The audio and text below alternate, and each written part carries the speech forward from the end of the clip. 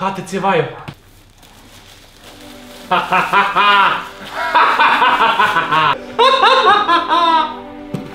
Skini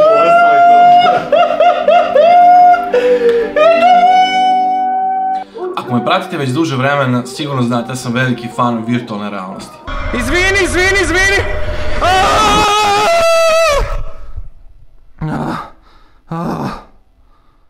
Mislim da je tehnologija nevjerovatna i da je sam VR budućnost. Slažem se, nije potpuno sazrela, ima bugova, dosta mana, ali već u ovom stadiju mu je odlično. Ideju za ovaj klip imao već godinu dana, odlagao sam je i desilo se to da je već neko snimio.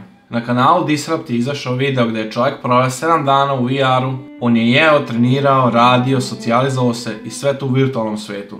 Prošlo mnogo vremena i meni ta ideja i dalje stoji neostvarena. Odlučio sam je uraditi, ali malo sa drugačijim pristupom.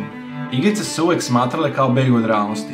Živim ispunjen život, na neki način to mi je deo posla, ali ti svetovi me privlače. Igrice su postale toliko kreativne, emotivne, uzbudljive, da jednostavno želiš da ih istražiš. Želiš da vidiš cijelu kreaciju i da konzumiraš sve. I tako bi nalazio sebe kako satima provodim u određenim svetovima. Zelda i Skyrim su mi omiljene igrice. Proveo sam toliko sati u njima da sam se posvetio violini sada vam svirao Oda radosti.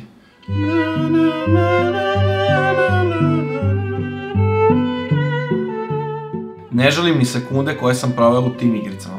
Međutim, VR nije imao ni jednu visokobudžetnu igricu sve do sada. Moj plan je da provedem 24 sata u potpuno drugom svijetu i u samo jednom svijetu. Malo što sam spomenuo Disrupt, on je dosta išao iz svijeta u svijet. Eksplorao je ceo VR i ja hoću samo u jednom svijetu da provedem 24 sata. Taj svijet je svijet zombija, a ja se bojim zombija i bojim se horora. To je inače The Walking Dead svijet, ima i serija, bilo je igrica, ništa toga nisam probao tako da sam jako uzbuđen. I brate, bojim se, ali ajde da krenemo. Obuku sam najudobnije gaće koje imam, i pidžame i sve ostalo.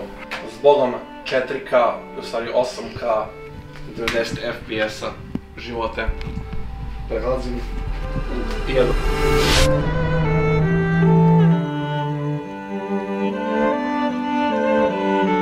Ova igra je nestvarna. Nisam ni siguran kako su ovo uspjeli. Igrica nema kontrole. To što zamisliš, ti uradiš.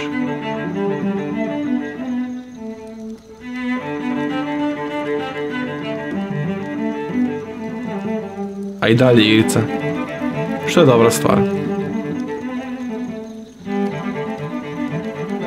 Svijetu. Šta ti se bude kakilo? Pa to je to, kažem ti. Brišeš. Ovo će biti dobar klip.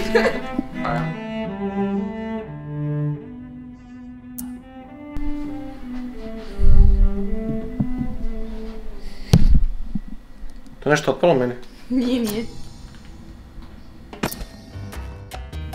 Bro. That's one chunky sekira. Uuu, brate. Spreman sam da slavim zombije. God, ovo nije meme klip, ovo je eksperiment.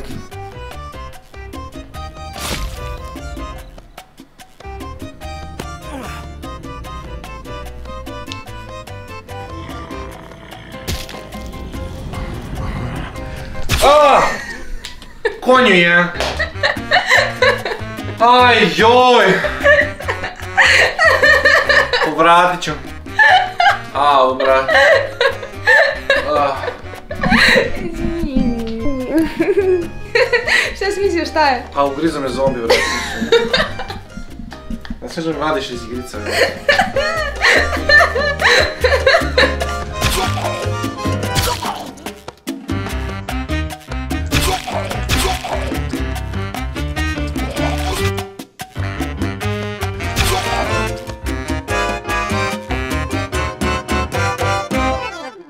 Možda nisam izabrao i najbolju igru. Konstantna napetost i šunjanje mi nisu prijeli. Međutim, morem zombija, svako ljudsko lice mi je donalo komfor.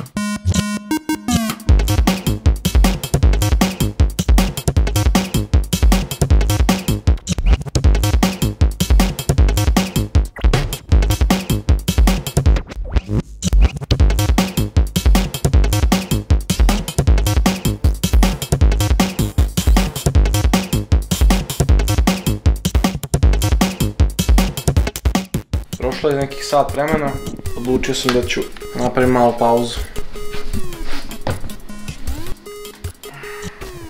jako čudno, ovo je prvi put da ja odmaram u igrici. Kad god sam igrao VR prethodno, uvijek sam odigram sat vremena i ne, ne igram više. Ovo je prvi put da je prošlo sat vremena i onda mi treba pauze, realno crko sam, znači ono ramena me bole. Poklo sam brdo zombije i čak sam i ogladnao.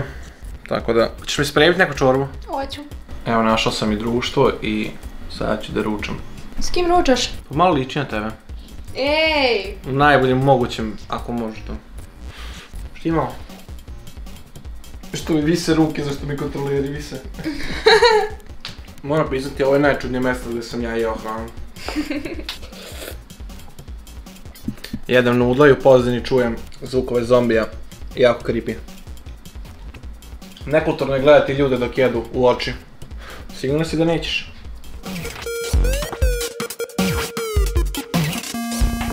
Sati su prolazili. Svaki put kada bi pravio pauzu, ne bih razmišljao o stvarnom životu nego o zombijima. Koji ću sljedeći al da napravim? Kuda mi je najbolje da se krećem? Da li sam ponovno dovoljno opreme?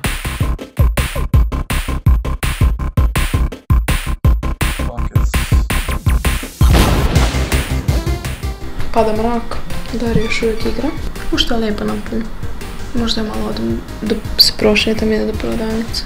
Vreme je totalno delovalo drugačije. Nisam znao ni koliko je sati, a u samoj igrici je prošlo nekoliko dana. Moj skill se poboljšao, samih zombija se više nisam bojao. Čak sam ih i ja prvi napadao. Svaki put kada bi išao u lovu, skupio bi novo oružje, osjećao sam se nezaustavljivo.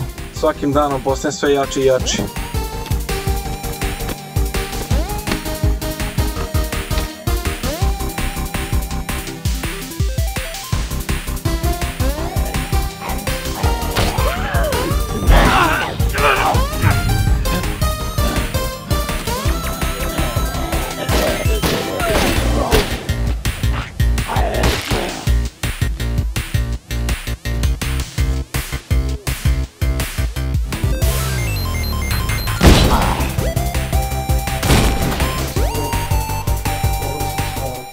Ćao ljudi, ja sam malo čupala. Don't mind me. Gledajte ovo. Ne znam ja koji je više sat, ali Dario i dalje igra igricu. Pogledajte napolju je... O! Napolju je već uveliko mrak. Skroz je mrak.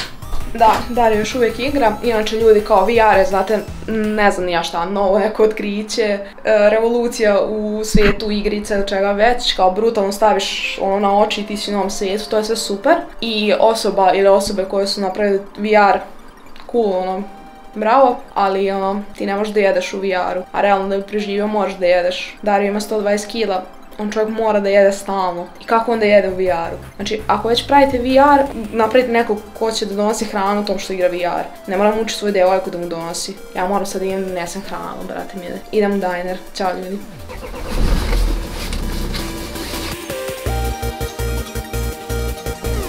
Ima kola. Ima kola.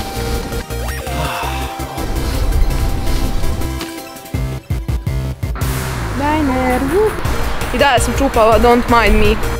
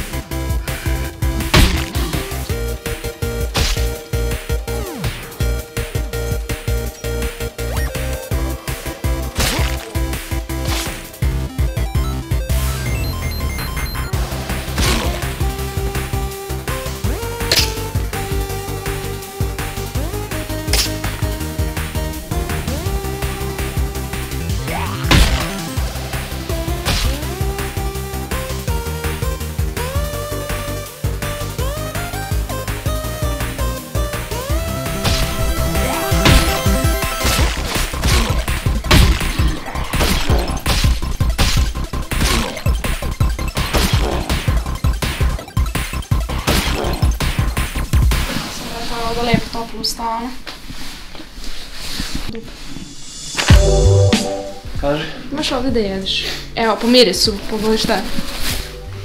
Začepio mi nos. Diner!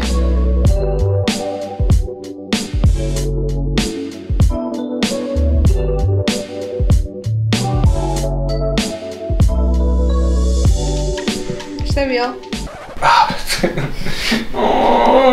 Ne mogu više da izdržim. Prvi put skidam headset i skinut ću ga na jako kratko. Znači moram ići u WC. Ne možemo nikako drugačije da riješimo da piškimo neku flašicu, to je jako glupo. Luka bi ne bi se slo- složio s tobom. Imamo teglu. Ok, daj teglu. Ne, ja da. pijem sok iz nje. Nema veze. Ili žut sok? Da. Pa neš ni sok.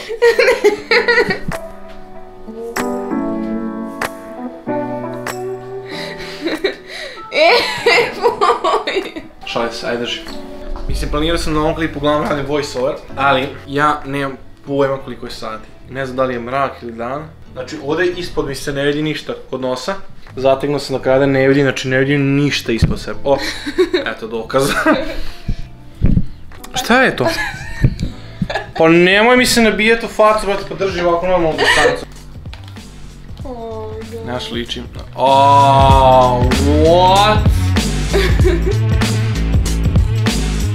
Imaš A, osjećam kako kod mi glava raste. Mrkla noć. Ja sam da je tipa ono... Pa da, mrkla noć je u šest tipa. Ja ću da lupim, ti mi kaže da sam blizu. Ja kažem da je jedno dva ujutru. 15 za 12. E, da je za 12, nemam pojma kako se osjećam povodom toga. Koliko sam ja u VR-u, Bog, ovo nije suza, ovo je znoj. I da ja idem u WC, brate. Da je višao je sidne kapice po mojoj glavi. Da. What, to u životu nije mi se desilo. Ja mi svo ovo vreme nisam... Zašto se nisi umio? Nema veze. Oči su počele da me peckaju. Mišići su počeli da me bole. Sve manje i manje sam koristio noževe, a sve više pištolje. Na kraju sam počeo da pucam sa kuka, kao lenji kauboj. Ostio sam da mi je bio potreban odmor. Sedenje nije bilo dovoljno. E ljudi, namestila sam Dariju krevet. Imaš krevet u igrici? Očajno izgleda igrici, evo pogled na ekranu. Vidim da, baš loš. Puste. Au, mekano. Uff, već sam sretan. Ah. Znaš kako čudno, brate. Kratak ti je krevet. Pogledaj u igrici, ono. Ležim pored prozora. Čuj se neke vrane. Tek sam sad čuo da postoje vrane. Mora samo od gore. Što ne možeš sa strane? Ako vuče mi hecat glavci, ja uslonit ću vrat. Znaš ako me bole stopala, ono stoje sad će koliko sati, inače nije mi dobro. Peckaju me kao da su me trnuli od stajanja. Pa da, pa puno staje. Nemam dijet misli da je neki zombi. Da li zaspim, probudim se u VR-u, šta to znači? Umor me savladao i zaspao sam odmah.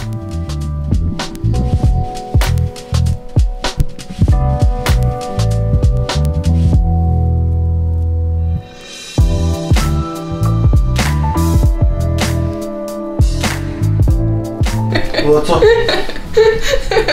Moj, Tu sam. Au, brate. Jesi dobro? Zaspao sam. Znam, snimila ste kako hrčiš. Slivila si me? Da.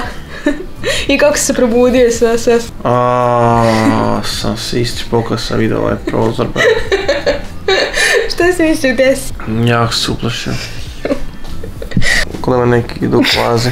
Nisi znao Pa da ću u ja. sekunde nisi skontao da šta se dešava. Joj, mogu misliti koji to osjećaj kao budiš se, ne znaš desi. Ne budim se nije mi jasno šta je ovo, brate. Ako sam se bio uplašio. A, Čebe dobijem. Čebe to biješ, da? Nice. Mogu da ugasi svjetlo? A da, u stvari ti ne vidiš u sobu.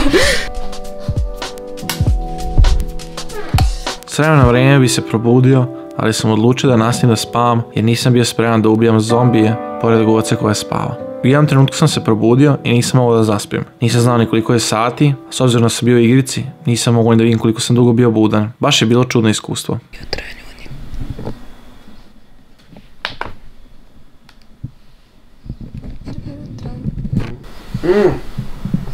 Ja, mutne mi oči, ne mogu. Da protrljam oči u VR-u. A, ja sam lijepo spao. Šta sad ubijem još koje zombije? I pitanje da li mogu ležećki da ubijem. Ja od početka nisi igrao ovako. Rane proklete. Ja sam ljudi ovdje čitala knjigu i grickala semenke i u čaši su mi bili onako oni ostaci od semenki. Meni padne čaša ovdje. I prospe se ovako. I dalje ništa nije skontao.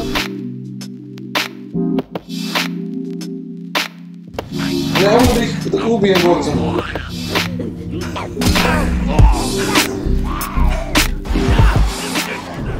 Vreme ti si meni našo. Dobro jutro, si gladan? Dajte na kraju. Ko je ručkao doručak? Da vidim ja. Šta je? Si me likvidirao, a? Uhuhu.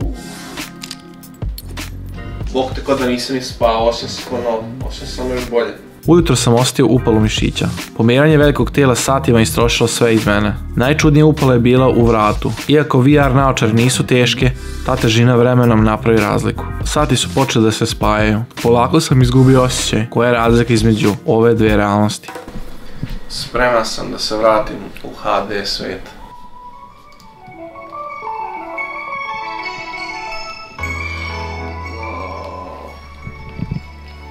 A opet nakon se da mi sve... Uuu, bro. Crven? Wow, ovo je moja soba. Ja živim tu u kuće, šta je već stan, nema pojma. What? Zašto ne radi? Zašto ne radi? Vraća se u VR, tako je bolje. Au, brate. Au, brate. Znam ko sam deo nekog plemena s ovim crvenim oko... Aaa, mi se useklo u glavu. Vidi ovo. Znači nema čudnije osjećaja nego kad se probudiš u VR. Majke. Znači nemaš biti čudnije. Znaš kako čudno, brate. Dok se probudiš u drugom svijetu, on drugi si čovjek. I jako sam se uživao. I sada, monolog za kraj. Moj glavni zaključak jeste to što je nevjerojatno da sam ja u svojoj sobi stavio naočar na glavu i otišao u potpuno drugi svijet. Svijet koji ima svoje pravila, svoje probleme, svoje rješenja. I iako je ova tehnologija na samom početku, uspio sam se uživim. Zamislite prvi auto koji se vozio. Pogledajte kako automobili izgledaju sada. E, ovo je početna faza virtualne realnosti i jedva čekam da vidim finalni produkt.